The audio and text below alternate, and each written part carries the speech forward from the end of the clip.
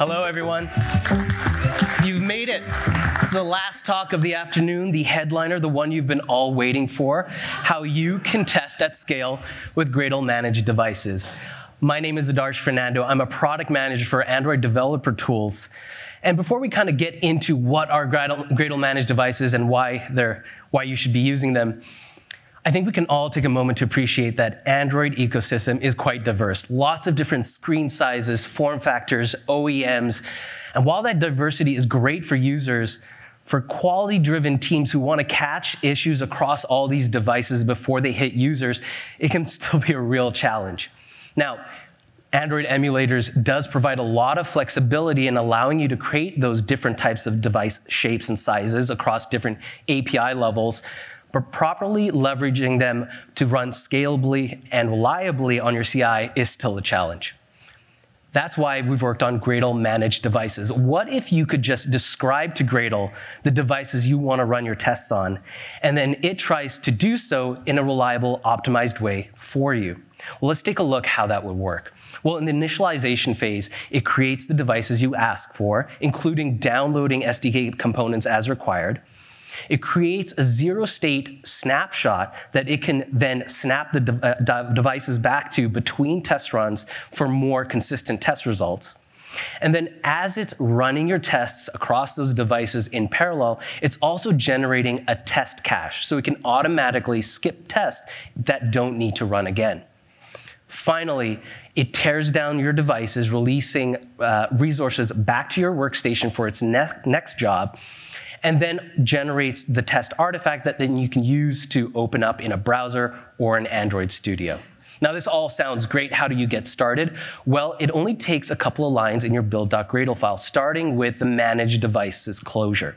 And in this closure, we define a device. Here, we're defining the uh, Pixel 2 device that's running API level 31 and uses the AOSP image. We could use Google if we wanted the Play Store, but we're going to stick with AOSP.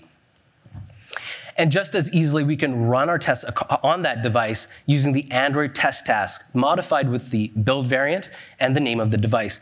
But we want to run the tests on more than one device. And you can do that. You can define multiple devices and add them to a device group. And then just as easily, run your Android test task against that group, and Gradle Managed Devices runs your tests across those devices in parallel. Now, the more devices you add, you're going to start hitting your memory and CPU limit. And we're trying to help that with that using something called automated test devices. This is a new type of device image which strips out a lot of the apps and overhead and background processes that developers typically don't need when they're running their tests on CI. And this can lead to significant reduction in memory and CPU usage based on your workstation. And here, it's just as easy as targeting that uh, uh, image uh, type, so AOSP-ATD. And we only currently support API levels 30 and 31, but we are adding more along the way. Now, with the additional resources that you're saving, you could either run on more device configurations, or you can even use uh, test sharding to execute your tests even faster. Gradle Managed Devices is stable in AGP 7.3 and 7.4 is in beta with even further stability and performance improvements. And we're continually improving that feature, so please give it a try uh, and provide us feedback. Now, there's one aspect of testing on devices we haven't covered, and what if you need to test on real physical OEM devices, for which sometimes there is no substitute. For that, we're turning to Firebase Test Lab. And in the latest AGP, you can now target any of Firebase Test Lab's virtual or physical devices as a Gradle managed device. So you get the benefits of test caching and seamless integration that GMD provides now with FTL devices. So once you're authenticated via gCloud, you just add the new Firebase Test Lab plugin to your build, and then you target the Firebase Test Lab device type in your device definition. And it's just that easy.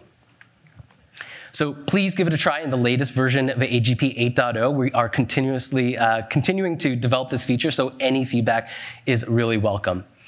And that's Gradle Managed Devices, a feature in Android Gradle plugin we hope makes it easier, more scalable, and with the power of Firebase Test Lab uh, for you. And I think that's my cue to leave. Thank you so much.